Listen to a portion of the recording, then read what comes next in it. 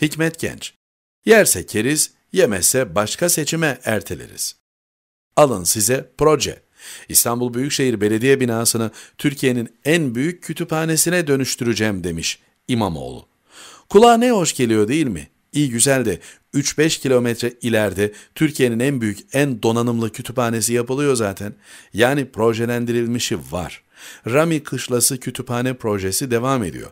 Türkiye'nin en büyük kütüphanesi olarak planlandı, kullanım alanı 220 bin metrekare. İlk etapta 7 milyon kitabın içinde olacağı bir kütüphane yapılıyor. İçerisinde kitap ve kütüphane müzesi de olacak. Şeyh Yozdil İbni Bidoni'nin kitabı da olacak mı bilemiyoruz. Sergi salonları, fuayeler, kafeler, sinema salonları vesairesiyle kültür ve sanat alanında İstanbul'un en önemli merkezlerinden biri olacak. Ama İmamoğlu'nun haberi yok. E, gerek de yok zaten. Zira bir CHP'li aday için bunlar vakaya adiye sayılıyor. 2009'da Kılıçdaroğlu aday olduğunda İstanbul'da 40 kuruşa ekmek satacaklarını vaat etmişti. Ama haberi yoktu ki İstanbul Halk Ekmek ekmeği zaten 40 kuruşa satıyordu.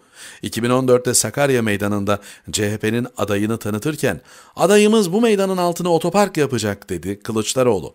Halbuki üzerinde durduğu o meydanın altı zaten otoparktı. 2007'de AK Partili belediye yapmıştı zaten. Biz de kat üstüne kat çok katlı çılgın otopark projesi diyerek iyi eğlenmiştik. Bunun bir ileri safhası da var, o da biz yapmıştık. CHP'nin Tuncay Özkan'ı Marmara'yı anlatmıştı. Bülent Ecevit yaptı Marmara'yı. Peki neden yaptı? Kentin üzerinde trafik yoğunluğu daha aşağı gelsin ve kent bu yoğunluktan kurtulsun diye. Şaka değil yahu. İroni, metafor neyin yok. Aynen böyle anlattı Marmara'yı. Yapacağız dediklerinin yapılmışı var. Yapılmışı görünce biz yaptık. CHP'nin en önemli hasleti budur. Çok konforludur CHP adayı olmak. Zira heykel dikme dışında hiçbir proje için kafa yormaya, çalışmaya, öğrenmeye gerek yok.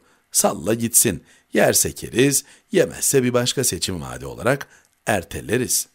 Hikmet Genç, Akşam